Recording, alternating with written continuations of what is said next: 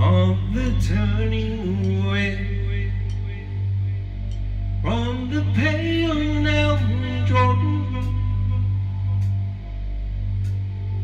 and the words they say which we won't understand.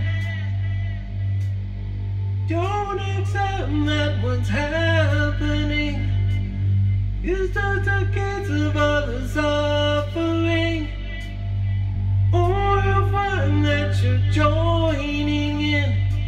turning away. It's a sin that's now. Light is changing shadows.